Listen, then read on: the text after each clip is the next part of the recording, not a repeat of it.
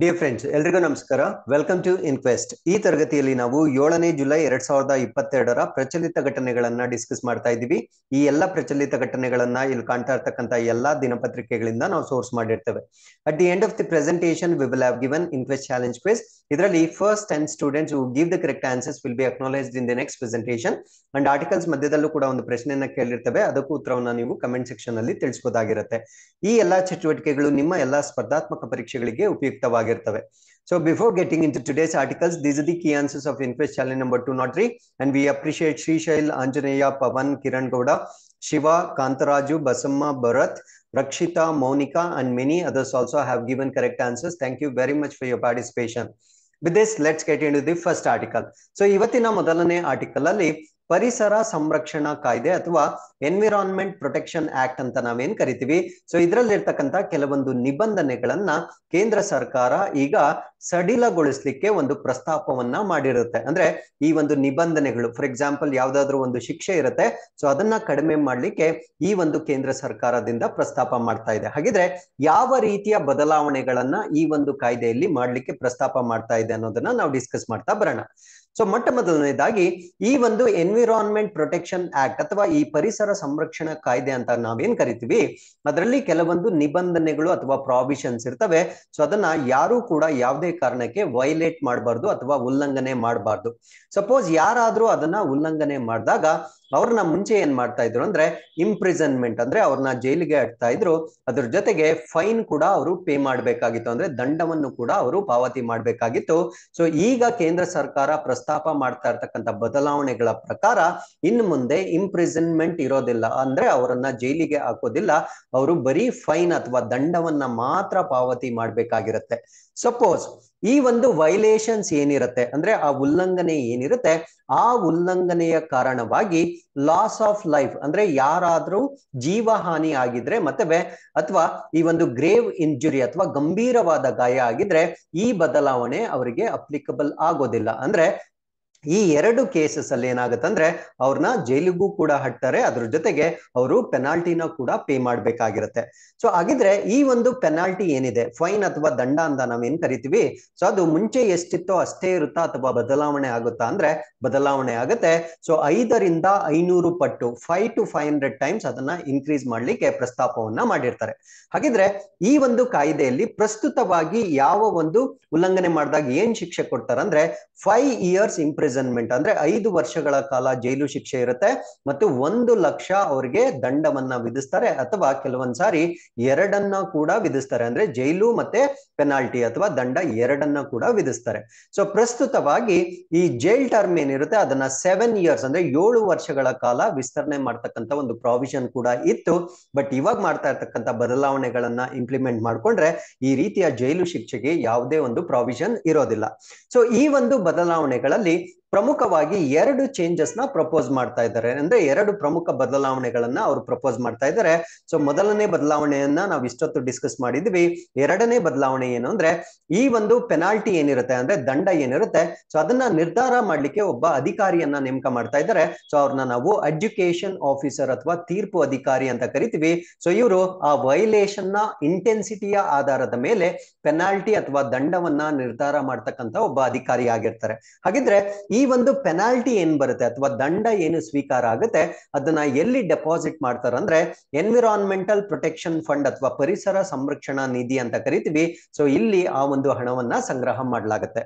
So ಈ ಒಂದು environment protection act ಅಲ್ಲಿ ಈಗ ಪ್ರಪೋಸ್ ಮಾಡ್ತಾ ಇರ್ತಕ್ಕಂತ ಈ ಬದಲಾವಣೆಗಳೇನಿದಾವೆ, ಆ ಒಂದು ಬದಲಾವಣೆಗಳು ಇನ್ನೂ ಎರಡು ಕಾಯ್ದೆಗಳಿಗೆ ಅಪ್ಲಿಕಬಲ್ ಆಗುತ್ತೆ. ಆ ಎರಡು ಕಾಯ್ದೆಗಳು ಯಾವ್ದ್ಯಾವ್ದು ಅಂದ್ರೆ, ಒಂದನ್ನ ಏರ್ ಆಕ್ಟ್ ಅಥವಾ ವಾಯು ಕಾಯ್ದೆ ಅಂತ ಕರಿತೀವಿ, ಇನ್ನೊಂದನ್ನ ವಾಟರ್ ಆಕ್ಟ್ ಅಥವಾ ಜಲ ಕಾಯ್ದೆ ಅಂತ ಕರಿತೀವಿ. ಸೊ ಏರ್ ಆಕ್ಟ್ ಅಂತಕ್ಕಂಥದ್ದು ಏರ್ ಪೊಲ್ಯೂಷನ್ಗೆ ಸಂಬಂಧಪಟ್ಟಂತೆ ಅಂದ್ರೆ ವಾಯು ಮಾಲಿನ್ಯಕ್ಕೆ ಸಂಬಂಧಪಟ್ಟಂತೆ ಒಂದು ಕಾಯ್ದೆ ಆಗಿರುತ್ತೆ. ವಾಟರ್ ಆಕ್ಟ್ ಅಂತಕ್ಕಂಥದ್ದು ವಾಟರ್ ಬಾಡೀಸ್ ಅಂದ್ರೆ ಭಾರತ ದೇಶದಲ್ಲಿರ್ತಕ್ಕಂಥ ಜಲಮೂಲಗಳಿಗೆ ಸಂಬಂಧಪಟ್ಟಂತೆ ಒಂದು ಕಾಯ್ದೆ ಆಗಿರುತ್ತೆ ಸೊ ಇಲ್ಲೂ ಕೂಡ ವೈಲೇಷನ್ಸ್ ಆದ್ರೆ, ಇನ್ ಮುಂದೆ ಈ ತಿದ್ದುಪಡಿಯನ್ನ ಅಕ್ಸೆಪ್ಟ್ ಮಾಡಿದ್ರೆ ಬರೀ ಪೆನಾಲ್ಟಿ ಇರುತ್ತೆ, ಯಾವುದೇ ರೀತಿಯ ಇಂಪ್ರಿಸನ್ಮೆಂಟ್ ಇರೋದಿಲ್ಲ. ಹಾಗಿದ್ರೆ environment protection act nineteen eighty six ಬಗ್ಗೆ ಕಂಪ್ಲೀಟ್ ಆಗಿ ನಾವು ಡಿಸ್ಕಸ್ ಮಾಡ್ತಾ ಬರೋಣ. ಸೊ ಇದನ್ನ ನಾವು act of the Indian parliament ಅಥವಾ ಭಾರತದ ಸಂವಿಧಾನದ ಅಥವಾ ಸಂಸತ್ತಿನ ಕಾಯ್ದೆ ಅಂತ ಕರಿತೀವಿ. ಸೊ ಇದು ಜಾರಿಗೆ ಬಂದಿದ್ದು ಅಥವಾ ಕಾರ್ಯರೂಪಕ್ಕೆ ಬಂದಿದ್ದು nineteen November nineteen eighty six ಅಲ್ಲಿ ಜಾರಿಗೆ ಬಂದಿರತಕ್ಕಂತ ಒಂದು ಕಾಯ್ದೆ. ಆಗಿರುತ್ತೆ ಸೊ ಈ ಕಾಯ್ದೆಯಲ್ಲಿ ಪ್ರಸ್ತುತವಾಗಿ twenty six sections and four chapters ಅಂದ್ರೆ ಇಪ್ಪತ್ತಾರು ವಿಭಾಗಗಳು ಮತ್ತು ನಾಲ್ಕು ಅಧ್ಯಾಯಗಳನ್ನ ನೋಡ್ಬೋದಾಗಿರುತ್ತೆ. ಸೊ ಇದನ್ನ ಸ್ಥಾಪನೆ ಮಾಡ್ಲಿಕ್ಕೆ ಕಾರಣ ಏನು ಅಂದ್ರೆ ಭೋಪಾಲ್ ಗ್ಯಾಸ್ ಲೀಕ್ ಅಂದ್ರೆ ಭೋಪಾಲ ಅನಿಲ ಸೋರಿಕೆ ನಿಮ್ಗೆಲ್ಲ ಡೆಫಿನೆಟ್ಲಿ ಗೊತ್ತಿರುತ್ತೆ. ಸೊ ಅದರ ರೆಸ್ಪಾನ್ಸ್ ಆಗಿ ಭಾರತ ದೇಶದಲ್ಲಿ ಈ ಒಂದು ಕಾಯ್ದೆಯನ್ನ ಸ್ಥಾಪನೆ ಮಾಡ್ತಾರೆ.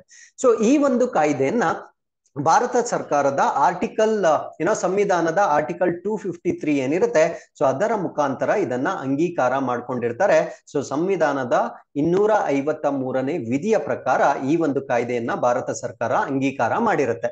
ಸೊ ಈ ಒಂದು ಕಾಯ್ದೆಯನ್ನ ಸ್ಥಾಪನೆ ಮಾಡಲಿಕ್ಕೆ ಇನ್ನೂ ಒಂದು ಪರ್ಪಸ್ ಇರುತ್ತೆ. ಆ ಪರ್ಪಸ್ ಏನು ಅಂದ್ರೆ to implement the decisions of the United Nations conference on the human environment ಅಂದ್ರೆ ಈ ಮಾನವನ ಪರಿಸರದ ಮೇಲೆ ವಿಶ್ವಸಂಸ್ಥೆಯ ಸಮ್ಮೇಳನದ ನಿರ್ಧಾರಗಳನ್ನ ಕಾರ್ಯಗತಗೊಳಿಸಲಿಕ್ಕೆ ಈ ಒಂದು ಕಾಯ್ದೆಯ ಪ್ರಮುಖ ಉದ್ದೇಶವಾಗಿರುತ್ತೆ. ಅದಾದ್ಮೇಲೆ ಈ ಒಂದು ಕಾಯ್ದೆ ಏನೇನ್ ಕೆಲಸ ಮಾಡುತ್ತಂದ್ರೆ ಇದು ಭಾರತ ದೇಶದಲ್ಲಿ it acts as a framework for the environmental regulation regime in India ಅಂದ್ರೆ ಭಾರತ ದೇಶದಲ್ಲಿ ಪರಿಸರ ಸಂಬಂಧ, ಅಂದ್ರೆ ಪರಿಸರಕ್ಕೆ ಸಂಬಂಧಪಟ್ಟಂತೆ ಒಂದು ಚೌಕಟ್ಟನ್ನ ಒದಗಿಸ್ತಕ್ಕಂತ ಒಂದೇ ಸೂರಿನ ಒಂದು ಶಾಸನವಾಗಿರುತ್ತೆ. ಅಂದ್ರೆ ಅಂಬ್ರೆಲಾ ಲೆಜಿಸ್ಲೇಷನ್ ಅಂತ ಕರಿತೀವಿ. ಸೊ ಇದರ ಕೆಳಗಡೆ ಪರಿಸರಕ್ಕೆ ಸಂಬಂಧಪಟ್ಟಂತೆ ಎಲ್ಲ ವಿಷಯಗಳನ್ನ ನಾವು ನೋಡ್ಬೋದಾಗಿರುತ್ತೆ. ಸೊ ಇದು ಪ್ರಮುಖವಾಗಿ ಏನೇನ ಕವರ್ ಮಾಡುತ್ತೆ ಅಂದ್ರೆ ಇಂಡಸ್ಟ್ರಿಯಲ್ ಅಂಡ್ ಇನ್ಫ್ರಾಸ್ಟ್ರಕ್ಚರ್ ಆಕ್ಟಿವಿಟೀಸ್ ಅಂದ್ರೆ, ಈ ಕೈಗಾರಿಕಾ ಮತ್ತು ಮೂಲ ಸೌಕರ್ಯ ಚಟುವಟಿಕೆಗಳು. ಕಾರಣ ಏನಂದ್ರೆ ಇಂಡಸ್ಟ್ರೀಸ್ ಇಂದಾನೆ ಮತ್ತೆ ಇನ್ಫ್ರಾಸ್ಟ್ರಕ್ಚರ್ ಡೆವಲಪ್ಮೆಂಟ್ ಅಂತ, ಇಂದನೇ ಪರಿಸರಕ್ಕೆ ಸಾಕಷ್ಟು, ಏನೋ ನಷ್ಟ ಆಗುತ್ತೆ. ಸೊ ಅದರಿಂದ ಇದನ್ನ ಪ್ರಮುಖವಾಗಿ ಮಾನಿಟರ್ ಮಾಡ್ತಕ್ಕಂತ ಒಂದು ಕಾಯ್ದೆ ಆಗಿರುತ್ತೆ. ಮತ್ತು ಈ ಒಂದು ಕಾಯ್ದೆ ಯಾವುದನ್ನ ಪ್ರಾಹಿಬಿಟ್ ಅಥವಾ ನಿಷೇಧ ಮಾಡುತ್ತಂದ್ರೆ specific activities in coastal area ಮತ್ತೆ ಈಕೋ ಸೆನ್ಸಿಟಿವ್ ಏರಿಯಾಸ್ ಅಂದ್ರೆ ಈ ಕರಾವಳಿ ಪ್ರದೇಶದಲ್ಲಿ ಮತ್ತು ಪರಿಸರ ಸೂಕ್ಷ್ಮ ಪ್ರದೇಶಗಳಲ್ಲಿ ನಿರ್ದಿಷ್ಟ ಚಟುವಟಿಕೆಗಳನ್ನ ನಿಷೇಧನ ಮಾಡ್ತಕ್ಕಂತ ಮತ್ತೆ ನಿಯಂತ್ರಣ ಮಾಡ್ತಕ್ಕಂತ ಕೆಲಸ ಕೂಡ ಮಾಡುತ್ತೆ. ಫಾರ್ ಎಕ್ಸಾಂಪಲ್ ಇವಾಗ ವೆಸ್ಟರ್ನ್ ಘಾಟ್ಸ್ ಪಶ್ಚಿಮ ಘಟ್ಟಗಳು ಅಂತ ನಾವೇನ್ ಕರಿತೀವಿ? ಸೊ ಅಲ್ಲಿ ನಾವು ಈಕೋ ಸೆನ್ಸಿಟಿವ್ ಝೋನ್ಸ್ ಅಂತ ಡಿಕ್ಲೇರ್ ಆಗಿರುತ್ತೆ. ಆ ಒಂದು ಈಕೋ ಸೆನ್ಸಿಟಿವ್ ಝೋನ್ಸ್ ಅಲ್ಲಿ ಕೈಗಾರಿಕೆಗಳಾಗ್ಲಿ ಮೈನಿಂಗ್ ಆಗ್ಲಿ, ಅದನ್ನ ಯಾರು ಮಾಡಬಾರ್ದಾಗಿರುತ್ತೆ. ಸೊ ಆ ರೀತಿಯ ನಿಬಂಧನೆಗಳನ್ನ ಏರ್ತಕ್ಕಂತ ಕೆಲಸ ಕೂಡ ಈ ಒಂದು ಕಾಯ್ದೆಯ ಅನ್ವಯ ಆಗುತ್ತೆ. ಸೊ ಅದಾದ್ಮೇಲೆ ಇದು ರಾಜ್ಯ ಮತ್ತು ಕೇಂದ್ರ ಸರ್ಕಾರಗಳ ಒಂದು ಏನೋ ಆಕ್ಟ್ಸ್ ಅಥವಾ ಆಕ್ಟಿವಿಟೀಸ್ ಏನಿರುತ್ತೆ ಸೊ ಅದನ್ನು ಕೂಡ ಮಾನಿಟರ್ ಮಾಡ್ತಕ್ಕಂತ ಒಂದು ಕಾಯ್ದೆ ಆಗಿರುತ್ತೆ. ಪ್ರಮುಖವಾಗಿ ವಾಟರ್ ಆಕ್ಟ್ ಮತ್ತೆ ಏರ್ ಆಕ್ಟ್ ಅಂದ್ರೆ ಈ ವಾಯು ಕಾಯ್ದೆ ಮತ್ತು ನೀರಿನ ಜಲ ಕಾಯ್ದೆ ಅಂತ ನಾವೇನ್ ಕರಿತೀವಿ ಸೊ ಅದನ್ನು ಕೂಡ ನಿಯಂತ್ರಣ ಮಾಡ್ತಕ್ಕಂತ ಒಂದು ಕಾಯ್ದೆ ಇದಾಗಿರುತ್ತೆ. ಸೊ ಇಷ್ಟು ಮಾಹಿತಿ ನಮಗೆ ಈ ಒಂದು ಕಾಯ್ದೆಯ ಕುರಿತು ಗೊತ್ತಿರಬೇಕಾಗಿರುತ್ತೆ. So with this we have come to the second article so ಇದರಲ್ಲಿ ಒಂದು ಮೆಡಲ್ ಬಗ್ಗೆ ಡಿಸ್ಕಸ್ ಮಾಡ್ತಾ ಇದೀವಿ ಈ ಒಂದು ಮೆಡಲ್ನ ನಾವು ಫೀಲ್ಡ್ಸ್ ಮೆಡಲ್ ಅಂತ ಕರಿತೀವಿ.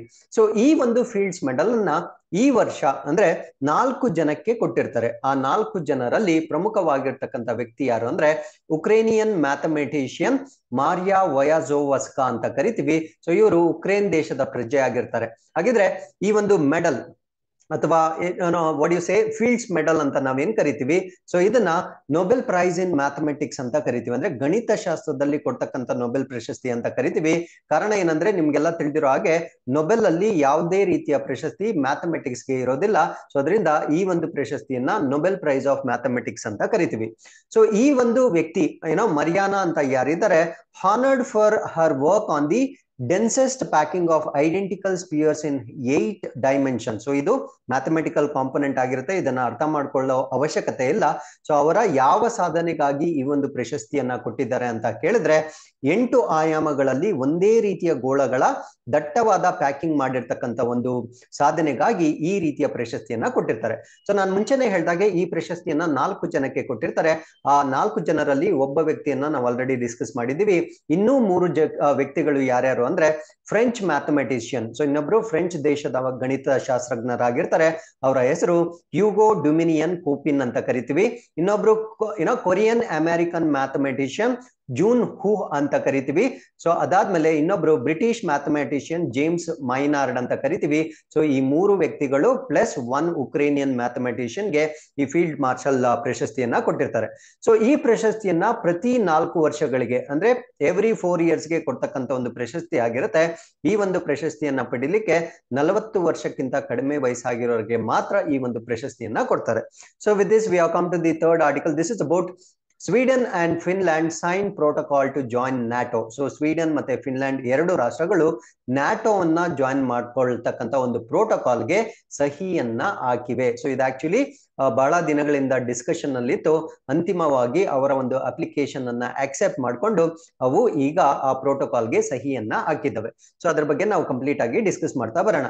ಸೊ ನ್ಯಾಟೋಸ್ ತರ್ಟಿ ಅಲೈಸ್ ಅಂತ ಕರಿತೀವಿ. ಅಂದ್ರೆ ಮೂವತ್ತು ಮಿಶ್ರ, ಮಿತ್ರ ರಾಷ್ಟ್ರಗಳ ಒಂದು ಅಸೋಸಿಯೇಷನ್ನ ನಾವು ನ್ಯಾಟೋ ಅಂತ ಕರಿತೀವಿ.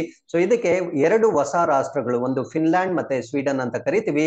To allow them to join the nuclear armed alliance ಅಂತ ಕರಿತೀವಿ. ಅಂದ್ರೆ ಈ ಒಂದು ಪರಮಾಣು ಸಶಸ್ತ್ರ ಮೈತ್ರಿಗೆ ಸೇರಿಕೊಳ್ಳಲು ಒಂದು ಅವಕಾಶವನ್ನ ಮಾಡಿಕೊಟ್ಟಿರುತ್ತೆ. ಸೊ ಯುನೋ ಎಲ್ಸಿನ್ಕಿ ಮತ್ತೆ ಸ್ಟಾಕ್ಹೋಮ್. ಎಲ್ಸಿನ್ಕಿ ಅಂದ್ರೆ it is the capital city of Sweden ಆಗಿರುತ್ತೆ. ಐ ಮೀನ್ ಫಿನ್ಲ್ಯಾಂಡ್ ಆಗಿರುತ್ತೆ ಮತ್ತೆ ಸ್ಟಾಕ್ಹೋಮ್ ಬಂದು ಸ್ವೀಡನ್ನ ಕ್ಯಾಪಿಟಲ್ ಸಿಟಿ ಆಗಿರುತ್ತೆ. ಸೊ ಇನ್ನು ಮುಂದೆ they can participate in NATO meeting ಅಂದ್ರೆ ನ್ಯಾಟೋ ಸಭೆಗಳಲ್ಲಿ ಭಾಗವಹಿಸಲಿಕ್ಕೆ ಅವ್ರಿಗೆ ಅವಕಾಶ ಇರುತ್ತೆ.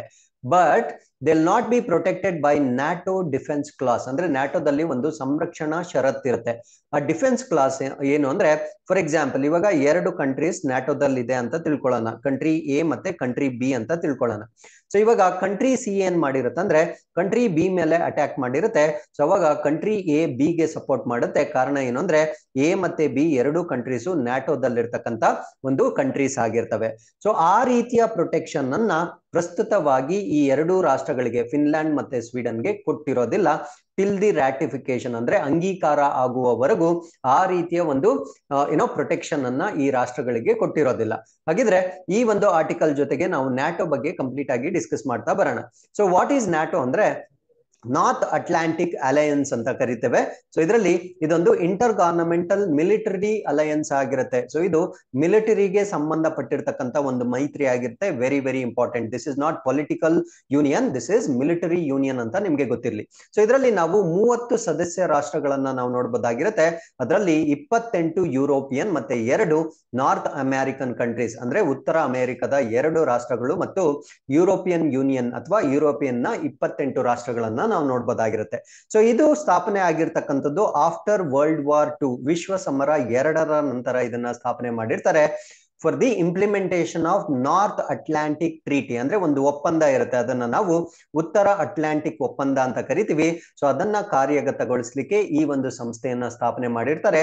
ಸೊ ಈ ಒಂದು ಒಪ್ಪಂದ ಸಹಿ ಆಗಿರ್ತಕ್ಕಂಥದ್ದು ವಾಷಿಂಗ್ಟನ್ ಡಿ ಸಿಯಲ್ಲಿ ಸಾವಿರದ ಒಂಬೈನೂರ ನಲವತ್ತೊಂಬತ್ತು ಏಪ್ರಿಲ್ ನಾಲ್ಕರಂದು ಅದಕ್ಕೆ ಆ ಒಂದು ಒಪ್ಪಂದಕ್ಕೆ ಸಹಿ ಹಾಕಿರುತ್ತೆ. ಸೊ ಅದಾದ್ಮೇಲೆ what is the meaning of NATO NATO ಅಂದ್ರೆ it is the collective security ಅಂತ ಕರಿತೀವಿ. ಅಂದ್ರೆ, ಒಂದು ಸಾಮೂಹಿಕವಾದ ಭದ್ರತೆ ವ್ಯವಸ್ಥೆ ಅಂತ ಕರಿತೀವಿ. Independent member states agree to defend each other against attack by the third party ಅಂದ್ರೆ ಸ್ವತಂತ್ರ ಸದಸ್ಯ ರಾಷ್ಟ್ರಗಳು ಮೂರನೇ ವ್ಯಕ್ತಿಗಳ ದಾಳಿಯ ವಿರುದ್ಧ ಪರಸ್ಪರ ರಕ್ಷಿಸಲು ಒಪ್ಪಿಕೊಳ್ಳುತ್ತೆ. ನಾನು ಬಿಫೋರ್ ಅಂದ್ರೆ ಮುಂಚೆ ಎಕ್ಸ್ಪ್ಲೇನ್ ಮಾಡಿದಾಗೆ ಎ ಅಂಡ್ ಬಿ ಎರಡು ಕಂಟ್ರೀಸ್ ನ್ಯಾಟೋದಲ್ಲಿದ್ದಾಗ ಸಿ ಅಂತಕ್ಕಂಥ ಕಂಟ್ರಿ ಬಿ ನ ಅಟ್ಯಾಕ್ ಮಾಡಿದಾಗ ಎ ಬಂದು ಬಿ ಗೆ ಸಪೋರ್ಟ್ ಮಾಡುತ್ತೆ. ಸೊ ಈ ರೀತಿಯ ಒಂದು ಸಪೋರ್ಟ್ ಮಾಡ್ತಕ್ಕಂಥ ಒಂದು ಅಸೋಸಿಯೇಷನ್ ಅನ್ನು ನಾವು ನ್ಯಾಟೋ ಅಂತ ಕರಿತೇವೆ. ಸೊ ಇದರ ಮೇನ್ ಹೆಡ್ ಕ್ವಾರ್ಟರ್ಸ್ ಅಥವಾ ಪ್ರಧಾನ ಏನೋ ಕೇಂದ್ರ ಕಚೇರಿಯನ್ನ ನಾವು ಬ್ರುಜೆಲ್ಸ್ ಬೆಲ್ಜಿಯಂನ ಬ್ರುಜೆಲ್ಸ್ ಅಲ್ಲಿ ನೋಡ್ಬೋದಾಗಿರುತ್ತೆ. ಅದಾದ್ಮೇಲೆ ಅದಕ್ಕೆ ಮಿಲಿಟರಿ ಹೆಡ್ ಅಂತ ಬೇರೆ ಇರುತ್ತೆ. ಅಂದ್ರೆ ಸೇನಾ ಪ್ರಧಾನ ಕಚೇರಿ ಬೇರೆ ಇರುತ್ತೆ. ಸೊ ಅದನ್ನ ಬೆಲ್ಜಿಯಂನ ಮಾನ್ಸ್ ಅಲ್ಲಿ ಅದರನ್ನ, ಅದರ ಕೇಂದ್ರ ಕಚೇರಿಯನ್ನ ನೋಡ್ಬೋದಾಗಿರುತ್ತೆ. ಸೊ ರೀಸೆಂಟ್ಲಿ ಇನ್ನೂ ಒಂದು ಕಂಟ್ರಿ ಇದಕ್ಕೆ ಜಾಯ್ನ್ ಆಗಿರುತ್ತೆ. ಅದ್ಯಾವ್ದು ಅಂದ್ರೆ ಮೆಸಿಡೋನಿಯಾ ಅಂತಕ್ಕಂಥ ಕಂಟ್ರಿ ಮಾರ್ಚ್ ಎರಡ್ ಸಾವಿರದ ಇಪ್ಪತ್ತರಲ್ಲಿ ಇದಕ್ಕೆ ಜಾಯ್ನ್ ಆಗಿರುತ್ತೆ. ಸೊ ಇಲ್ಲಿ ಬ್ಲೂ ಕಲರ್ ಕಾಣ್ತಾ ಇರ್ತಕ್ಕಂಥ, ನೋಡಿ ಎರಡು ರಾಷ್ಟ್ರಗಳು, ಕೆನಡಾ ಮತ್ತೆ ಯು ಎಸ್ ಎ ಮಿಕ್ಕಿದೆಲ್ಲ ಯುರೋಪಿಯನ್ ನೇಷನ್ಸ್ ಆಗಿರುತ್ತವೆ ಸೊ ಇವು ಈ ಒಂದು ನ್ಯಾಟೋದಲ್ಲಿರ್ತಕ್ಕಂಥ ಕಂಟ್ರೀಸ್ ಆಗಿರ್ತವೆ. So with this we come to the fourth article this is about India and Armenia sign sign U on H I C D project in Armenia so H I C ಅಂದ್ರೆ ಏನು ಅಂತ ನಾನು further explain ಮಾಡ್ತಾ ಬರ್ತೀನಿ. So H I C D ಅಂದ್ರೆ high impact community development ಅಂತ ಕರಿತೀವಿ. ಅಂದ್ರೆ ಹೆಚ್ಚಿನ ಪ್ರಭಾವದ ಸಮುದಾಯ ಅಭಿವೃದ್ಧಿ. ಅಂದ್ರೆ ಇಲ್ಲೇನ್ ಬರುತ್ತೆ ಅಂದ್ರೆ ಪ್ರಮುಖವಾಗಿ ಹೆಲ್ತ್ ಬರುತ್ತೆ ಎಜುಕೇಶನ್ ಬರುತ್ತೆ ಚಿಲ್ಡ್ರನ್ ಡೆವಲಪ್ಮೆಂಟ್ ಬರುತ್ತೆ. ಸೊ ಈ ಎಲ್ಲ ಕಾಂಪೋನೆಂಟ್ಸ್ ಇರ್ತಕ್ಕಂಥ ಒಂದು ಡೆವಲಪ್ಮೆಂಟ್ನ ನಾವು ಹೈ ಇಂಪ್ಯಾಕ್ಟ್ ಕಮ್ಯುನಿಟಿ ಡೆವಲಪ್ಮೆಂಟ್ ಅಂತ ಕರಿತೀವಿ. ಸೊ ಈ ರೀತಿಯ ಒಂದು ಪ್ರಾಜೆಕ್ಟ್ಗೆ ಭಾರತ ಸರ್ಕಾರ ಅರ್ಮೇನಿಯಾ ರಾಷ್ಟ್ರದೊಂದಿಗೆ ಸಹಿಯನ್ನ ಹಾಕಿರುತ್ತೆ. ಸೊ ಈ ಒಂದು ಸಹಿಯನ್ನ ಎಲ್ಲ ಹಾಕಿರುತ್ತೆ ಅಂದ್ರೆ ಏತ್ India Armenia intergovernmental commission on trade economic scientific and technological cultural and educational cooperation that is held in Yerevan ಅಂತ ಕರಿತೀವಿ. ಅಂದ್ರೆ ಅರ್ಮೇನಿಯಾದಲ್ಲಿರ್ತಕ್ಕಂಥ ಎರೆವಾನ್ನಲ್ಲಿ ಒಂದು ಕಮಿಷನ್ ನಡೆದಿರುತ್ತೆ. ಸೊ ಆ ಒಂದು ಕಮಿಷನ್ ಭಾರತ ಮತ್ತು ಅರ್ಮೇನಿಯಾಗೆ ಸಂಬಂಧಪಟ್ಟಂತೆ ವ್ಯಾಪಾರ, ಆರ್ಥಿಕ, ವೈಜ್ಞಾನಿಕ ತಾಂತ್ರಿಕ ಮತ್ತು ಸಂಸ್ಕೃತಿಗೆ ಶೈಕ್ಷಣಿಕ ಸಹಕಾರದ ಒಂದು ಎಂಟನೇ Bharat, Armenia intergovernmental commission ಆಗಿರುತ್ತೆ. ಸೊ ಈ ಸಮಯದಲ್ಲಿ ಈ ಒಂದು ಒಪ್ಪಂದಕ್ಕೆ ಸಹಿ ಹಾಕಿರ್ಲಾಗಿರುತ್ತೆ. ಸೊ ಇದೇ ಒಂದು ಸಂದರ್ಭದಲ್ಲಿ ಏನೋ ಎರ್ವೆ ಎರೆನಾ ಸ್ಟೇಟ್ ಮೆಡಿಕಲ್ ಯೂನಿವರ್ಸಿಟಿ ಅಂತ ನಾವೇನ್ ಕರಿತೀವಿ ಅಂದ್ರೆ ಎರೆವನ್ ಸ್ಟೇಟ್ ಮೆಡಿಕಲ್ ಯೂನಿವರ್ಸಿಟಿಯಲ್ಲಿ ಮಹಾತ್ಮ ಗಾಂಧಿ ಆಡಿಟೋರಿಯಂ ಅನ್ನ ಕೂಡ ಉದ್ಘಾಟನೆ ಮಾಡಲಾಗಿರುತ್ತೆ. ಸೊ ಈ ಒಂದು ಎರೆವನ್ ಸ್ಟೇಟ್ ಮೆಡಿಕಲ್ ಯೂನಿವರ್ಸಿಟಿಯ ಒಂದು ಸ್ಪೆಷಾಲಿಟಿ ಏನಂದ್ರೆ ಇಲ್ಲಿ ಭಾರತ ದೇಶದ ಸ್ಟೂಡೆಂಟ್ಸ್ ಅನ್ನ ಒಳಗೊಂಡಂತೆ ಏಳ್ನೂರಕ್ಕೂ ಹೆಚ್ಚು ವಿದ್ಯಾರ್ಥಿಗಳು ಇಲ್ಲಿ ಮೆಡಿಕಲ್ ಎಜುಕೇಶನ್ ಅಂದ್ರೆ ವೈದ್ಯಕೀಯ ಶಿಕ್ಷಣವನ್ನ ಪಡಿತಾ ಇದ್ದಾರೆ. ಸೊ ಈ ಒಂದು ಯೂನಿವರ್ಸಿಟಿಯ ಇನ್ನೊಂದು ವಿಶೇಷತೆ ಏನು this is the only university in Armenia that as the you know provision of teaching in English medium ಅಂದ್ರೆ ಆಂಗ್ಲ ಭಾಷೆಯಲ್ಲಿ ಏನೋ ವೈದ್ಯಕೀಯವನ್ನು ಕಲಿಸ್ಲಿಕ್ಕೆ ಅರ್ಮೇನಿಯಾದ ಶಿಕ್ಷಣ ಸಚಿವಾಲಯದಿಂದ ಅನುಮತಿ ಪಡೆದಿರ್ತಕ್ಕಂಥ ಏಕೈಕ ವಿಶ್ವವಿದ್ಯಾನಿಲಯ ಇದಾಗಿರುತ್ತೆ. ಸೊ ಹಾಗಿದ್ರೆ ಅರ್ಮೇನಿಯಾ ಅಂತಕ್ಕಂಥದ್ದು ಯುರೋಪ್ನಲ್ಲಿ ಬರ್ತಕ್ಕಂಥ ಒಂದು ಕಂಟ್ರಿ ಆಗಿರುತ್ತೆ. ಸೊ ನೀವಿಲ್ಲಿ ನಾನು ಮಾರ್ಕ್ ಮಾಡ್ತಾ ಇರೋದನ್ನ ನೋಡ್ಬೋದಾಗಿರುತ್ತೆ. So this is called as Armenia. So Armenia neighbouring ಕಂಟ್ರೀಸ್ನ ನಾವು ನೋಡೋದಾದ್ರೆ, ಸಿ ಎರೆವನ್ ಅಂತಕ್ಕಂಥದ್ದು ಇದರ ಕ್ಯಾಪಿಟಲ್ ಸಿಟಿ ಆಗಿರುತ್ತೆ. ಸೊ ಇದರ ನೈಬರಿಂಗ್ ಕಂಟ್ರೀಸ್ ಒಂದು ಜಾರ್ಜಿಯಾ ಆಗಿರುತ್ತೆ, ಇನ್ನೊಂದು ಅಜರ್ಬೈಜಾನ್ ಆಗಿರುತ್ತೆ ಮೂರನೇದು ಟರ್ಕಿ ಆಗಿರುತ್ತೆ. ಹಾಗಿದ್ರೆ ಇವತ್ತಿನ ಪ್ರಶ್ನೆ ಏನು ಅಂದ್ರೆ which neighbouring country of Armenia recently change its name ಅಂದ್ರೆ ಈ ಮೂರು ರಾಷ್ಟ್ರಗಳು, ಜಾರ್ಜಿಯಾ ಅಜರ್ಬೈಜಾನ್ ಮತ್ತು ಟರ್ಕಿ ಈ ಮೂರು ರಾಷ್ಟ್ರಗಳಲ್ಲಿ ಇತ್ತೀಚೆಗೆ ಒಂದು ರಾಷ್ಟ್ರ ತನ್ನ ಹೆಸರನ್ನ ಚೇಂಜ್ ಮಾಡ್ಕೊಂಡಿದೆ. ಯಾವ ರಾಷ್ಟ್ರ ಮತ್ತೆ ನೇಮ್ ಏನಂತ ಚೇಂಜ್ ಆಗಿದೆ ಅದನ್ನ ನೀವು ಕಮೆಂಟ್ ಅಲ್ಲಿ ನಮಗೆ ತಿಳಿಸಬಹುದಾಗಿರುತ್ತೆ so with this we come to the fifth article this is about Hariyali Mahotsav ಅಂತ ಕರಿತೀವಿ. ಸೊ ಈ ಒಂದು ಹರಿಯಾಲಿ ಮಹೋತ್ಸವ ನಮ್ಮ ಒಂದು ಮಿನಿಸ್ಟ್ರಿ ಆಫ್ ಎನ್ವಿರಾನ್ಮೆಂಟ್ ಫಾರೆಸ್ಟ್ ಮತ್ತು ಕ್ಲೈಮೇಟ್ ಚೇಂಜ್ ವತಿಯಿಂದ ಲಾಂಚ್ ಆಗಿರ್ತಕ್ಕಂಥ ಒಂದು ಮಹೋತ್ಸವವಾಗಿರುತ್ತೆ. ಸೊ ಇದನ್ನ ಎಲ್ಲಿ ಲಾಂಚ್ ಮಾಡಿದ್ರು ಅಂದ್ರೆ ನವದೆಹಲಿಯಲ್ಲಿ ಈ ಹರಿಯಾಲಿ ಮಹೋತ್ಸವವನ್ನ ಲಾಂಚ್ ಮಾಡಿರ್ತಾರೆ. ಹರಿಯಾಲಿ ಮಹೋತ್ಸವ ಅನ್ನ ನಾವು ಇಂಗ್ಲಿಷ್ ಅಲ್ಲಿ ಟ್ರೀ ಫೆಸ್ಟಿವಲ್ ಅಥವಾ ಕನ್ನಡದಲ್ಲಿ ವೃಕ್ಷೋತ್ಸವ ಅಂತ ಕರಿತೀವಿ. ಸೊ ಈ ಒಂದು ಹರಿಯಾಲಿ ಮಹೋತ್ಸವದ ಒಂದು ಆಬ್ಜೆಕ್ಟಿವ್ ಏನು ಅಂದ್ರೆ to create awareness about the importance of trees ಅಂದ್ರೆ ಮರಗಳ ಮಹತ್ವದ ಬಗ್ಗೆ ಜಾಗೃತಿ ಮೂಡಿಸ್ತಕ್ಕಂಥ ಒಂದು ಅಭಿಯಾನ ಇದಾಗಿರುತ್ತೆ. So this Mahotsav is very effective tool to install enthusiasm among masses for forest conservation and planting trees ಅಂದ್ರೆ ಈ ಅರಣ್ಯಗಳನ್ನ ರಕ್ಷಣೆ ಮಾಡ್ತಕ್ಕಂಥದ್ದು ಮತ್ತು ಮರಗಳನ್ನ ನೆಡ್ಲಿಕ್ಕೆ ಜನಸಾಮಾನ್ಯರಲ್ಲಿ ಉತ್ಸಾಹವನ್ನ ತುಂಬತಕ್ಕಂಥ ಒಂದು ಪರಿಣಾಮಕಾರಿ ಸಾಧನವಾಗಿರುತ್ತೆ. ಸೊ ಇದು ಬಹಳ ಬಹಳ ಇಂಪಾರ್ಟೆಂಟ್ ಆಗಿರುತ್ತೆ because it is complementing the policy and programme initiatives ಅಂದ್ರೆ ನಮ್ಮ ಒಂದು ಭಾರತ ಸರ್ಕಾರದ ಈ ಪರಿಸರ ಸಂರಕ್ಷಣೆಗೆ ಸಂಬಂಧಪಟ್ಟಂತೆ ಆ ಉಪಕ್ರಮಗಳು ಏನ್ ಮಾಡ್ತಾ ಇದ್ದಾರೆ, ಅದಕ್ಕೆ ಪೂರಕವಾಗಿರ್ತಕ್ಕಂಥ ಒಂದು ಇನಿಷಿಯೇಟಿವ್ ಆಗಿರುತ್ತೆ. So with this V com to the six article this is about Karnataka to get Nations first research and development policy soon ಅಂದ್ರೆ ಕರ್ನಾಟಕ ರಾಜ್ಯವು ರಾಷ್ಟ್ರದಲ್ಲಿಯೇ ಮೊಟ್ಟ ಮೊದಲ ಬಾರಿಗೆ ಈ ರಿಸರ್ಚ್ ಅಂಡ್ ಡೆವಲಪ್ಮೆಂಟ್ ಏನಿರುತ್ತೆ, ಇದಕ್ಕೆ ಸಂಬಂಧಪಟ್ಟಂತೆ ನೀತಿಯನ್ನ ಶೀಘ್ರದಲ್ಲೇ ಪಡೀತಕ್ಕಂತ ಒಂದು ಮೊಟ್ಟ ಮೊದಲ ರಾಜ್ಯವಾಗಲಿದೆ. ಸೊ ಇದ್ರ ಬಗ್ಗೆ ನಾವು ಡಿಸ್ಕಸ್ ಮಾಡ್ತಾ ಬರೋಣ. ಸೊ ಈ ಒಂದು ಏನೋ ಪಾಲಿಸಿನ ನಾವೇನಂತ ಕರಿತೀವಿ ಅಂದ್ರೆ ರಿಸರ್ಚ್ ಅಂಡ್ ಡೆವಲಪ್ಮೆಂಟ್ ಪಾಲಿಸಿ ಅಥವಾ ಸಂಶೋಧನೆ ಮತ್ತು ಅಭಿವೃದ್ಧಿ ನೀತಿ ಅಂತ ಕರಿತೀವಿ. ಇದು ದೇಶದಲ್ಲೇ ಮೊಟ್ಟ ಮೊದಲನೆಯ ನೀತಿ ಆಗಿರುತ್ತೆ. ಸೊ ಈ ಒಂದು ಪಾಲಿಸಿಯ ಪ್ರಕಾರ zero point one percentage of G S D ಅಥವಾ ಗ್ರಾಸ್ ಸ್ಟೇಟ್ ಡೊಮೆಸ್ಟಿಕ್ ಪ್ರಾಡಕ್ಟ್ ಏನಿರುತ್ತೆ ಅಂದ್ರೆ ರಾಜ್ಯದ ದೇಶೀಯ ಉತ್ಪನ್ನ ಏನಿರುತ್ತೆ, ಅದರಲ್ಲಿ ಜೀರೋ ಪಾಯಿಂಟ್ ಒನ್ ಪರ್ಸೆಂಟೇಜ್ ಅನ್ನ ಈ ಒಂದು ರಿಸರ್ಚ್ ಅಂಡ್ ಡೆವಲಪ್ಮೆಂಟ್ಗೆ ಡೆಡಿಕೇಟ್ ಮಾಡ್ಲಿಕ್ಕೆ ಈ ನೀತಿಯ ಪ್ರಕಾರ ಏನೋ ಪ್ಲಾನ್ ಮಾಡಲಾಗ್ತಾ ಇದೆ.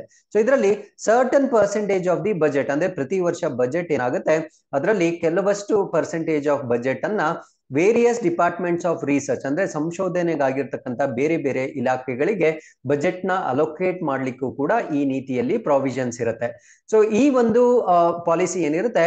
It was headed task force headed by professor Ashok Shettar ಅಂತಕ್ಕಂಥವರ ಏನೋ ಅಧಿಕಾರದಲ್ಲಿ ಈ ಒಂದು ಕಾರ್ಯಪಡೆಯನ್ನ ನೇಮಕ ಮಾಡಿರ್ತಾರೆ.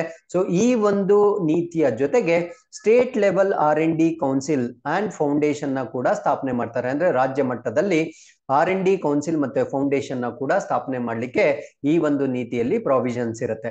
So with this we come to the seventh article this is about Nilachal Ispat Nigam limited, ಅದನ್ನ N I N I N L ಅಂತ ಕರಿತೀವಿ. So ಇದು ಇವಾಗ ಸಂಪೂರ್ಣವಾಗಿ ಖಾಸಗೀಕರಣಗೊಂಡಿರ್ತಕ್ಕಂಥ ಒಂದು ಲಿಮಿಟೆಡ್ ಆಗಿರುತ್ತೆ. ಅಂದ್ರೆ ಪ್ರೈವೇಟೈಸೇಷನ್ ಆಗಿರ್ತಕ್ಕಂಥ ಭಾರತದ ಎರಡನೇ ಒಂದು ಲಿಮಿಟೆಡ್ ಆಗಿರುತ್ತೆ. ಸೊ ಈ ಒಂದು ಪ್ರೈವೇಟೈಸೇಷನ್ ಯಾಕಾಯ್ತು, ಯಾರು ಇದನ್ನ ತಗೊಂಡ್ರು, ಎಲ್ಲದನ್ನ ನಾವು ಡಿಸ್ಕಸ್ ಮಾಡ್ತಾ ಬರೋಣ. ಸೊ ಇದನ್ನ ತೆಗೆದುಕೊಂಡಿರ್ತಕ್ಕಂಥವ್ರು ಅಥವಾ own ಮಾಡ್ಕೊಂಡಿರ್ತಕ್ಕಂಥವ್ರು Tata group firm Tata steel long products ಅಂತಕ್ಕಂಥವ್ರು ಈ ಒಂದು ಸಂಸ್ಥೆಯನ್ನ ಏನೋ ತಮ್ಮ ಒಂದು ಖಾಸಗಿ ಸಂಸ್ಥೆಯಾಗಿ ಪರಿವರ್ತನೆ ಮಾಡ್ಕೊಂಡಿರುತ್ತೆ. ಹಾಗಿದ್ರೆ ಭಾರತದಲ್ಲಿ ಈ ರೀತಿಯ ಪರಿವರ್ತನೆ ಆಗಿರ್ತಕ್ಕಂಥ ಸೆಕೆಂಡ್ ಸಕ್ಸಸ್ಫುಲ್ ಪ್ರೈವೇಟೈಸೇಷನ್ ಆಗಿರುತ್ತೆ. ಅಂದ್ರೆ ಎರಡನೇ ಯಶಸ್ವಿ ಖಾಸಗೀಕರಣವಾಗಿರುತ್ತೆ. ಸೊ ಮೊದಲನೇ ಖಾಸಗೀಕರಣ ಆಗಿರ್ತಕ್ಕಂಥದ್ದು ಏರ್ ಇಂಡಿಯಾ ಆಗಿರುತ್ತೆ. ಸೊ ನಿಮ್ಗೆ ಡೆಫಿನೆಟ್ಲಿ ಗೊತ್ತಿರುತ್ತೆ. ಸೊ ಏರ್ ಇಂಡಿಯಾನು ಕೂಡ ಟಾಟಾ ಗ್ರೂಪ್ ನವರೇ ಖರೀದಿ ಮಾಡಿರ್ತಾರೆ. ಹಾಗಿದ್ರೆ ಎನ್ ಐ ಎನ್ ಎಲ್ ಮತ್ತೆ ಏರ್ ಇಂಡಿಯಾ ಎರಡನ್ನೂ ಕೂಡ ಟಾಟಾ ಅವರು ಖರೀದಿ ಮಾಡಿರ್ತಾರೆ. ಹಾಗಿದ್ರೆ what was N I N I L N L ಅಂದ್ರೆ one point one million ton year capacity steel plant ಆಗಿರುತ್ತೆ. ಯು ಕ್ಯಾನ್ ಇಮ್ಯಾಜಿನ್ ಒಂದು ವರ್ಷಕ್ಕೆ ಒಂದು ಪಾಯಿಂಟ್ ಒಂದು ಮಿಲಿಯನ್ ಟನ್ ಸಾಮರ್ಥ್ಯದ ಉಕ್ಕನ್ನ ತಯಾರಿ ಮಾಡ್ತಕ್ಕಂಥ ಒಂದು ಸ್ಥಾವರ ಆಗಿರುತ್ತೆ. ಸೊ ಇದು ಒಡಿಶಾದ ಕಳಿಂಗ ನಗರದಲ್ಲಿರ್ತಕ್ಕಂಥ ಒಂದು ಲಿಮಿಟೆಡ್ ಇದ್ದಾಗಿರುತ್ತೆ. ಸೊ ಇದು ಡ್ಯೂ ಟು ಲಾಸಸ್ ಅಂದ್ರೆ ನಷ್ಟವಾಗಿರ್ತಕ್ಕಂಥ ಕಾರಣದಿಂದ ಎರಡ್ ಸಾವಿರದ ಇಪ್ಪತ್ತರಲ್ಲಿ ಅದನ್ನ ಕ್ಲೋಸ್ ಮಾಡಲಾಗಿರುತ್ತೆ. ಸೊ ಇವಾಗ ಟಾಟಾ ಅದನ್ನ ಖರೀದಿ ಮಾಡಿರುತ್ತೆ. ಸೊ ಈ ಎನ್ ಐ ಎನ್ ಎಲ್ ಅಂತಕ್ಕಂಥದ್ದು ಒಂದು ಜಾಯಿಂಟ್ ವೆಂಚರ್ ಆಗಿರುತ್ತೆ. ಅಂದ್ರೆ ಒಂದು ಜಂಟಿ ಉದ್ಯಮವಾಗಿರುತ್ತೆ. ಸೊ ಇದರಲ್ಲಿ ನಾಲ್ಕು ನಾವು ಸಿ ಪಿ ಎಸ್ ಸಿಸ್ ಅಂದ್ರೆ ಸೆಂಟ್ರಲ್ ಪಬ್ಲಿಕ್ ಸೆಕ್ಟರ್ ಎಂಟರ್ಪ್ರೈಸಸ್ನ ನಾವು ನೋಡ್ಬೋದಾಗಿರುತ್ತೆ.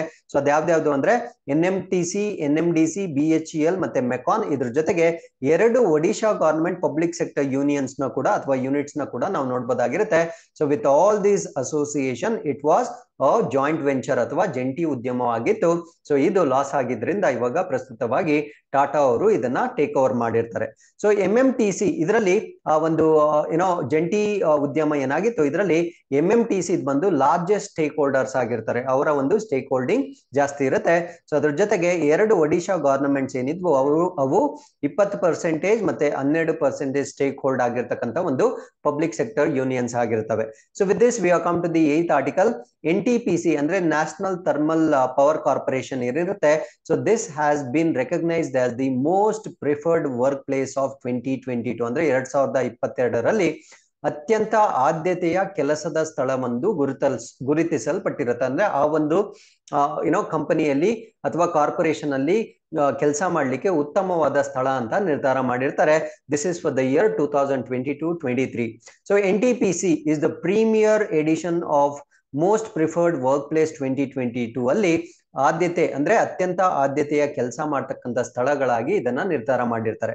So it was organised by Team Marksman in association association with India today ಅಂದ್ರೆ ಈ ಒಂದು ಏನೋ ಡಿಸಿಷನ್ ಏನಿರುತ್ತೆ, ಆ ಒಂದು ನಿರ್ಧಾರವನ್ನ ತೆಗೆದುಕೊಳ್ತಕ್ಕಂಥ most preferred workplace twenty twenty two ranking ಅನ್ನ ಇಂಡಿಯಾ ಟುಡೇ ಸಹಯೋಗದಲ್ಲಿ ಟೀಮ್ ಮರ್ಕ್ಸ್ ಮ್ಯಾನ್ ಇದನ್ನ ಆಯೋಜನೆ ಮಾಡಿರುತ್ತೆ. ಸೊ ಇಲ್ಲಿ ವೆಲ್ ಬೀಯಿಂಗ್ ಆಫ್ ಎಂಪ್ಲಾಯೀಸ್ ಅಂದ್ರೆ ಇದಕ್ಕೆ ಯಾಕೆ ಈ ಒಂದು ಏನೋ ಅವಾರ್ಡ್ ಅನ್ನ ಕೊಟ್ಟಿರ್ತಾರೆ ಅಂದ್ರೆ ಅವರು ಉದ್ಯೋಗಿಗಳ ಯೋಗಕ್ಷೇಮ engagement and productivity alongside organisational performance ಅಂದ್ರೆ ಆ ಒಂದು ಸಾಂಸ್ಥಿಕ ಕಾರ್ಯಕ್ಷಮತೆಯೊಂದಿಗೆ ಆ ಉದ್ಯೋಗಿಗಳ ಯೋಗಕ್ಷೇಮವನ್ನು ಕೂಡ ಅವರು ಹೆಚ್ಚಾಗಿ ಕನ್ಸರ್ನ್ ಮಾಡಿದ್ರಿಂದ ಸೊ ಇದಕ್ಕೆ most preferred place of work ಅಂತ ಕೊಟ್ಟಿರ್ತಾರೆ. ಸೊ ಇದು ಸ್ಥಾಪನೆ ಆಗಿದ್ದು ಸಾವಿರದ ಒಂಬೈನೂರ ಎಪ್ಪತ್ತೈದರಲ್ಲಿ ಇದರ ಹೆಡ್ ಕ್ವಾರ್ಟರ್ಸ್ನ ನಾವು ನವದೆಹಲಿಯಲ್ಲಿ ನೋಡ್ಬೋದಾಗಿರುತ್ತೆ. ಸೊ ಈ ಒಂದು ಕಾರ್ಪೊರೇಷನ್ನ ಕೇಂದ್ರ ಸರ್ಕಾರ ಮಹಾರತ್ನ ಅಂತ ಕೂಡ ಡಿವೈಡ್ ಮಾಡಿ ಡಿಸೈಡ್ ಮಾಡಿರುತ್ತೆ ಅಥವಾ ಒಂದು ಅವಾರ್ಡ್ ಮಾಡಿರುತ್ತೆ. ಮಹಾರತ್ನ ಅಂದ್ರೆ ಏನು ಅಂತ ನಾನು ಪ್ರೀವಿಯಸ್ ವಿಡಿಯೋಸ್ ಅಲ್ಲಿ ಸಾಕಷ್ಟು ಬಾರಿ ಡಿಸ್ಕಸ್ ಮಾಡಿರ್ತೀನಿ. So with this we come to the ninth article this is about sustainable science and technology school ಇದು ಭಾರತದಲ್ಲೇ ಮೊಟ್ಟ ಮೊದಲ ಬಾರಿಗೆ ಈ ವಿಜ್ಞಾನ ಮತ್ತು ತಂತ್ರಜ್ಞಾನ ಕ್ಷೇತ್ರದಲ್ಲಿ ಈ ಭಾರತದ ಮೊದಲ ಮೀಸಲಾದ ಶಾಲೆ. ಅಂದ್ರೆ ಬರೀ ಸೈನ್ಸ್ ಅಂಡ್ ಟೆಕ್ನಾಲಜಿ ಅಲ್ಲ, ಇದನ್ನ ಸಸ್ಟೈನಬಲ್ ಸೈನ್ಸ್ ಅಂಡ್ ಟೆಕ್ನಾಲಜಿ ಅಥವಾ ಸುಸ್ಥಿರ ವಿಜ್ಞಾನ ಮತ್ತು ತಂತ್ರಜ್ಞಾನ ಅಂತ ಕರಿತೀವಿ. ಇದಕ್ಕೆ ಸಂಬಂಧಪಟ್ಟಂತೆ ಮೊಟ್ಟ ಮೊದಲ ಸ್ಕೂಲ್ ಅನ್ನ ಭಾರತ ದೇಶದಲ್ಲಿ ಓಪನ್ ಮಾಡಿರ್ತಾರೆ. ಸೊ ಯಾರು ಅಂದ್ರೆ I I T Hyderabad in association with Greenko ಅಂತ ಕರಿತೀವಿ. ಸೊ ಗ್ರೆಂಕ್ ಅಂದ್ರೆ ಏನು ಅಥವಾ G R E N K ಅಂದ್ರೆ ಏನು ಅಂತ ನಾವು ಡಿಸ್ಕಸ್ ಮಾಡ್ತಾ ಬರೋಣ. So renewable energy major Greenko and I I T Hyderabad. So ಈ ಗ್ರಿಂಕೋ ಬಂದು ನವೀಕರಿಸಬಹುದಾದ ಇಂಧನದ ಒಂದು ಪ್ರಮುಖವಾದ ಒಂದು ಯೂನಿಟ್ ಆಗಿರುತ್ತೆ. ಸೊ ಅದನ್ನ ನಾವು ಗ್ರಿಂಕೋ ಅಂತ ಕರಿತೀವಿ. ಸೊ ಇವರು ಇವಾಗ ಐ ಐ ಟಿ ಹೈದ್ರಾಬಾದ್ನ ಜೊತೆಗೆ ಇವರಿಬ್ಬರು ಒಟ್ಟಿಗೆ ಸೇರಿ ಒಂದು ಭಾರತ ದೇಶದಲ್ಲಿಯೇ ಮೊಟ್ಟ ಮೊದಲ ಬಾರಿಗೆ ಸಸ್ಟೈನಬಲ್ ಸೈನ್ಸ್ ಅಂಡ್ ಟೆಕ್ನಾಲಜಿ ಅಥವಾ ಈ ಸುಸ್ಥಿರ ವಿಜ್ಞಾನ ಮತ್ತು ತಂತ್ರಜ್ಞಾನಕ್ಕಾಗಿ ಒಂದು ಶಾಲೆಯನ್ನ ಪ್ರಾರಂಭ ಮಾಡಿರ್ತಾರೆ. ಸೊ ಈ ಒಂದು ಶಾಲೆಯ ಒಂದು ಪರ್ಪಸ್ ಏನು ಅಂದ್ರೆ you know advancing knowledge in key thrust area of climate change mitigation artificial intelligence space technology energy transition industrial transformation circular and regenerative uh, economy among others ಅಂದ್ರೆ ಈ ಒಂದು ಹವಾಮಾನ ಬದಲಾವಣೆಗೆ ಸಂಬಂಧಪಟ್ಟಂತೆ ವಿಜ್ಞಾನ ಮತ್ತು ತಂತ್ರಜ್ಞಾನ ಕೃತ ಕೃತಕ ಬುದ್ಧಿಮತ್ತೆ ಬಾಹ್ಯಾಕಾಶ ತಂತ್ರಜ್ಞಾನ ಶಕ್ತಿ ಪರಿವರ್ತನೆ ಕೈಗಾರಿಕಾ ರೂಪಾಂತರ ವೃತ್ತಾಕಾರದ ಒಂದು ಆರ್ಥಿಕತೆ ಪುನರುತ್ಪಾದಕದ ಆರ್ಥಿಕತೆ ಏನಿದೆ? ಸೊ ಈ ಒಂದು ಪ್ರಮುಖ ಕ್ಷೇತ್ರಗಳಲ್ಲಿ ಈ ಶಾಲೆಯು ಜ್ಞಾನವನ್ನ ಹೆಚ್ಚಿಗೆ ಮಾಡ್ಲಿಕ್ಕೆ ಕೆಲವೊಂದು ಆಬ್ಜೆಕ್ಟಿವ್ಸ್ ಅನ್ನ ಒಳಗೊಂಡಿರುತ್ತೆ. ಸೊ ಈ ಒಂದು ಗ್ರೀನ್ಕೋ ಅಂತಕ್ಕಂಥದ್ದು is working in consultation with the ministry of education A I C T N C R T ಮತ್ತೆ N C T to ensure G S S S T ಅಂದ್ರೆ ಈ ಒಂದು ಗ್ರಿಂಕೋ ಶಿಕ್ಷಣ ಸಚಿವಾಲಯವು ನಮ್ಮ ಭಾರತ ದೇಶದ ಗ್ರಿಂಕೋ ಶಿಕ್ಷಣ ಸಚಿವಾಲಯದೊಂದಿಗೆ ಮತ್ತೆ A C T N C R T ಮತ್ತು N E C V T N N C V T ಯೊಂದಿಗೆ ಸಮಾಲೋಚನೆ ಮಾಡ್ತಾ ಇರ್ತಕ್ಕಂಥ ಒಂದು ಸಂಸ್ಥೆ ಆಗಿರುತ್ತೆ. ಸೊ ಇದು ಮೊಟ್ಟ ಮೊದಲ ಬಾರಿಗೆ ಸುಸ್ಥಿರ ವಿಜ್ಞಾನ ಮತ್ತು ತಂತ್ರಜ್ಞಾನ ಕಲಿಕೆಗೆ ಅನುಗುಣವಾಗಿ ಒಂದು ಪ್ರಗತಿಯನ್ನ ಖಚಿತಪಡಿಸಿಕೊಳ್ತಕ್ಕಂಥದ್ದು ಇದರ ಪ್ರಮುಖ ಉದ್ದೇಶವಾಗಿರುತ್ತೆ. So Greenko is leading clean tech and energy storage player in India operating seven point five gigawatts of renewable portfolio so Greenko ಬಗ್ಗೆ ಇನ್ನೂ ಹೆಚ್ಚಿನ ಮಾಹಿತಿ ತಿಳ್ಕೊಳ್ಳೋದಾದ್ರೆ, ಇದು ಭಾರತದಲ್ಲಿ ಪ್ರಮುಖ ಗ್ರೀನ್ ಟೆಕ್ ಮತ್ತೆ ಎನರ್ಜಿ ಸ್ಟೋರೇಜ್ ಪ್ಲೇಯರ್ ಆಗಿರ್ತಾರೆ. ಸೊ ಇವರು seven point five giga bats ಅಷ್ಟು ನವೀಕರಿಸಬಹುದಾದ ಪೋರ್ಟ್ಫೋಲಿಯೋವನ್ನ ನಿರ್ವಹಣೆ ಮಾಡ್ತಕ್ಕಂಥ ಒಂದು ಯೂನಿಟ್ ಆಗಿರುತ್ತೆ. ಸೊ ಇದರ ಹೆಡ್ ಕ್ವಾರ್ಟರ್ಸ್ ಹೈದರಾಬಾದ್ ಅಲ್ಲಿ ಇರುತ್ತೆ ಇದು ಸ್ಥಾಪನೆ ಆಗಿರ್ತಕ್ಕಂಥದ್ದು ಟೂ ತೌಸಂಡ್ ಫೋರ್ ಅಲ್ಲಿ ಆಗಿರುತ್ತೆ. So with this we come to the tenth article this is about India's first autonomous navigation facility TiHAN ಅಂತಕ್ಕಂಥ ಒಂದು ಕೇಂದ್ರವನ್ನ, ಅಂದ್ರೆ ಭಾರತದ ಮೊತ್ತ ಮೊದಲ ಸ್ವಾಯತ್ತ ನ್ಯಾವಿಗೇಷನ್ ಸೌಲಭ್ಯ ತಿಹಾನ್ ಅನ್ನ ಪ್ರಾರಂಭ ಮಾಡಿರ್ತಾರೆ. ತಿಹಾನ್ ಅಂದ್ರೆ ಏನು? ಇದನ್ನ ಯಾರು ಪ್ರಾರಂಭ ಮಾಡಿದ್ದಾರೆ ಎಲ್ಲವನ್ನ ತಿಳ್ಕೊಳ್ತಾ ಬರೋಣ. ಸೊ ತಿಹಾನ್ ಅಂತಕ್ಕಂಥದ್ದು ಆಟೋನಮಸ್ ನ್ಯಾವಿಗೇಷನ್ ಸೆಂಟರ್ ಆಗಿರುತ್ತೆ. ಅಂದ್ರೆ ಒಂದು ನ್ಯಾವಿಗೇಷನ್ ಪರೀಕ್ಷಾ ಕೇಂದ್ರವಾಗಿರುತ್ತೆ. ಸೊ ಇದು ground and aerial vehicle testing ಅಂದ್ರೆ ಭೂ ಮತ್ತು ವೈಮಾನಿಕ ವಾಹನಗಳ ಪರೀಕ್ಷೆಗಾಗಿ ಮಾಡಿರ್ತಕ್ಕಂಥ ಒಂದು ಸೆಂಟರ್ ಆಗಿರುತ್ತೆ. So this is develop dot I I T ಹೈದರಾಬಾದ್ನಲ್ಲಿ ಇದನ್ನ ಡೆವಲಪ್ ಮಾಡಿರ್ತಾರೆ. ಸೊ ಇದರ ಮೇನ್ ಪರ್ಪಸ್ ಏನು ಅಂದ್ರೆ to promote collaborative research between academia industry and research and development labs ಅಂದ್ರೆ ಈ ಶೈಕ್ಷಣಿಕ, ಉದ್ಯಮ ಮತ್ತು ರಿಸರ್ಚ್ ಅಂಡ್ ಡೆವಲಪ್ಮೆಂಟ್ ಪ್ರಯೋಗಗಳೇನಿರ್ತವೆ ಸೊ ಇವುಗಳ ನಡುವೆ ಒಂದು ಸಂಶೋಧನೆಯ ಸಹಯೋಗವನ್ನ ಉತ್ತೇಜನ ಮಾಡಲಿಕ್ಕೆ ಮಾಡಿರ್ತಕ್ಕಂಥ ಒಂದು ಇನಿಷಿಯೇಟಿವ್ ಆಗಿರುತ್ತೆ. ಸೊ ತಿಹಾನ್ನ ಫುಲ್ ಫಾರ್ಮ್ ಏನು ಅಂದ್ರೆ technology innovation hub and autonomous navigation ಅಂತ ಕರಿತೀವಿ. ಸೊ ಅದರ ಶಾರ್ಟ್ ವರ್ಷನ್ ಆಗಿ ನಾವು ತಿಹಾನ್ ಅಂತ ಕರಿತೀವಿ. So TiHAN has been recognised as a scientific and industrial research organisation by the department of science and industrial research ಅಂದ್ರೆ ಈ ಒಂದು ವೈಜ್ಞಾನಿಕ ಮತ್ತು ಕೈಗಾರಿಕಾ ಸಂಶೋಧನೆ ಇಲಾಖೆಯಿಂದ ಈ ತಿಹಾನ್ ಅನ್ನ ವೈಜ್ಞಾನಿಕ ಮತ್ತು ಕೈಗಾರಿಕಾ ಸಂಶೋಧನಾ ಸಂಸ್ಥೆ ಅಂತ ಕೂಡ ಇದನ್ನ ಗುರುತಿಸಲಾಗಿರುತ್ತದೆ. So with this we come to the eleventh article this is about Pariksha Sangam. So ಇದನ್ನ ಲಾಂಚ್ ಮಾಡಿರ್ತಕ್ಕಂಥದ್ದು ಸಿ ಬಿ ಎಸ್ ಸಿ ವತಿಯಿಂದ ಇದನ್ನ ಲಾಂಚ್ ಮಾಡಿರ್ತಾರೆ. ಸೊ ಇದರ ಮೇನ್ ಪರ್ಪಸ್ ಏನು ಅಂದ್ರೆ to connect students, school regional offices and CBSE board headquarters to integrate examination related processes. ಅಂದ್ರೆ ಈ ಒಂದು ಪರೀಕ್ಷೆಗೆ ಸಂಬಂಧಪಟ್ಟಂತೆ ಪ್ರತಿಕ್ರಿಯೆಗಳೇನಿರುತ್ತೆ ಸೊ ಅದನ್ನ ವಿದ್ಯಾರ್ಥಿಗಳು ಶಾಲಾ ಪ್ರಾದೇಶಿಕ ಕಚೇರಿಗಳು ಮತ್ತು ಸಿಬಿಎಸ್ಇ ಬಿ ಮಂಡಳಿ ಏನಿರುತ್ತೆ? ಸೊ ಇದ್ರ ಜೊತೆಗೆ ಸಂಪರ್ಕವನ್ನ ಎಸ್ಟಾಬ್ಲಿಷ್ ಮಾಡ್ಲಿಕ್ಕೆ ಸಿಬಿಎಸ್ಇ ಬಿ ವತಿಯಿಂದ ಪರೀಕ್ಷಾ ಸಂಗಮ್ ಅಂತಕ್ಕಂಥ ಒಂದು ಪೋರ್ಟಲ್ ಅನ್ನ ಲಾಂಚ್ ಮಾಡಿರ್ತಾರೆ. ಸೊ ಪರೀಕ್ಷಾ ಸಂಗಮ್ ಅಂತಕ್ಕಂಥದ್ದು ಯಾರ ಪೋರ್ಟಲ್ ಅಂತ ನಿಮ್ಗೆ ಪ್ರಶ್ನೆ ಕೇಳಿದ್ರೆ ಸಿ ಬಿ ಎಸ್ ಸಿ ಅಂತ ನಿಮ್ಗೆ ಗೊತ್ತಿರಬೇಕಾಗಿರುತ್ತೆ. ಸೊ ಇದೊಂದು ಸಿಂಗಲ್ ವಿಂಡೋ ಪೋರ್ಟಲ್ ಆಗಿರುತ್ತೆ. ಸೊ ಇದರಲ್ಲಿ board examination result sample papers and other details ಎಲ್ಲವನ್ನ ನಾವಿಲ್ಲಿ ಪಡಿಬೋದಾಗಿರುತ್ತೆ. ಸೊ ಇದನ್ನ ಪ್ರಮುಖವಾಗಿ ಮೂರು ಭಾಗಗಳಾಗಿ ವಿಂಗಡಣೆ ಮಾಡಿರ್ತಾರೆ. ಸೊ ಮೂರು ಭಾಗಗಳಲ್ಲಿ ಒಂದನ್ನ ಗಂಗಾ ಯಮುನಾ ಸರಸ್ವತಿ ರಿವರ್ಸ್ ಏನಿರುತ್ತೆ. ಸೊ ಆ ಒಂದು ರೀತಿಯ ನೇಮ್ಸ್ ಅನ್ನ ಮಾಡಿರ್ತಾರೆ. ಸೊ ಗಂಗಾ ಅಂದ್ರೆ ಸ್ಕೂಲ್ಸ್ ಅಂದ್ರೆ ಶಾಲೆಗಳಿಗೆ ಸಂಬಂಧಪಟ್ಟಂತೆ, ಯಮುನಾ ಅಂದ್ರೆ ರೀಜನಲ್ ಆಫೀಸರ್ಸ್ ಮತ್ತೆ ಸರಸ್ವತಿ ಅಂದ್ರೆ ಹೆಡ್ ಆಫೀಸ್ ಅಥವಾ ಪ್ರಧಾನ ಕಚೇರಿಗೆ ಸಂಬಂಧಪಟ್ಟಂತೆ ಪೋರ್ಟಲ್ ಆಗಿರುತ್ತೆ. So with this we come to the last article this is about Uganda announces discovery of thirty one million metric tons of gold deposit so Uganda ರಾಷ್ಟ್ರವು ಮೂವತ್ತೊಂದು million metric ton ಚಿನ್ನದ ನಿಕ್ಷೇಪಗಳ ಆವಿಷ್ಕಾರವನ್ನ ಘೋಷಣೆ ಮಾಡಿರುತ್ತೆ. So ಇಲ್ಲಿ ನೀವು ಉಗಾಂಡವನ್ನ ನೋಡ್ಬೋದಾಗಿರುತ್ತೆ. So ಉಗಾಂಡದ neighbouring ಕಂಟ್ರೀಸ್ನ ನಾವು ನೋಡೋದಾದ್ರೆ, ಸುಡಾನ್, ಇಲ್ಲಿ ಕೆನ್ಯಾ ಬರುತ್ತೆ, ಅದಾದ್ಮೇಲೆ ರಾಂಡಾ ಬರುತ್ತೆ, ಮತ್ತೆ ಇಲ್ಲಿ ಏನೋ ರಿಪಬ್ಲಿಕ್ ಆಫ್ ಕಾಂಗೋ ಬರುತ್ತೆ. ಸೊ ಇಷ್ಟು ರಾಷ್ಟ್ರಗಳನ್ನ ಸುತ್ತುವರೆದಿರತಕ್ಕಂತ ಒಂದು ರಾಷ್ಟ್ರ ಉಗಾಂಡ ಆಗಿರುತ್ತೆ. ಸೊ ಈ ಒಂದು ಚಿನ್ನದ ನಿಕ್ಷೇಪಗಳಲ್ಲಿ ಈ ಪ್ಯೂರ್ ಗೋಲ್ಡ್ ಏನಿರುತ್ತೆ so that could be gross of three lakh twenty thousand tons ಅಷ್ಟು ಶುದ್ಧ ಚಿನ್ನ ಈ ಒಂದು ತರ್ಟಿ ಒನ್ ಮಿಲಿಯನ್ ಟನ್ಸ್ ಅಲ್ಲಿ ಸಿಗ್ಬೋದು ಅಂತ ಅಂದಾಜು ಮಾಡಲಾಗ್ತಾ ಇದೆ. ಸೊ ಇದನ್ನ ಈ ಒಗಾ Wagagai gold mining company so ಇವರು, ಇದೊಂದು ಚೈನೀಸ್ ಫರ್ಮ್ ಆಗಿರುತ್ತೆ. ಸೊ ಇವರು ಆ ಒಂದು ಚಿನ್ನವನ್ನ ಎಸ್ಕೆವೇಟ್ ಮಾಡ್ಲಿಕ್ಕೆ ಚೀನಾದ ಒಂದು ಸಂಸ್ಥೆಗೆ ಕಾಂಟ್ರಾಕ್ಟ್ ಅನ್ನ ಕೊಟ್ಟಿರ್ತಾರೆ. ಸೊ ಅದನ್ನ ನಾವು ಒಗಾಗೈ ಗೋಲ್ಡ್ ಮೈನಿಂಗ್ ಅಂತ ಕರಿತೀವಿ. ಸೊ ಈ ಒಂದು ಚಿನ್ನದ ನಿಕ್ಷೇಪ ಉಗಾಂಡದ ಯಾವ ಜಿಲ್ಲೆಯಲ್ಲಿ ಡಿಟೆಕ್ಟ್ ಆಗಿದೆ ಅಂದ್ರೆ ಸೊ ಬ್ಯೂಸಿಯಾ ಜಿಲ್ಲೆ ಅಥವಾ ಬ್ಯೂಸಿಯಾ ಡಿಸ್ಟಿಕ್ ಅಲ್ಲಿ ಇದನ್ನ ಡಿಟೆಕ್ಟ್ ಮಾಡಿರ್ತಾರೆ. ಸೊ ಇಲ್ಲಿಗೆ ಇವತ್ತಿನ ಎಲ್ಲಾ ಪ್ರಚಲಿತ ಘಟನೆಗಳು ಕಂಪ್ಲೀಟ್ ಆಗಿರುತ್ತೆ. So with this we come to ಇನ್ಫೆಸ್ number two not for you can just pause the video go through the questions and give the answers so once again, i'll meet you tomorrow with tomorrow's current affairs. Till then, keep reading. Be safe. Thank you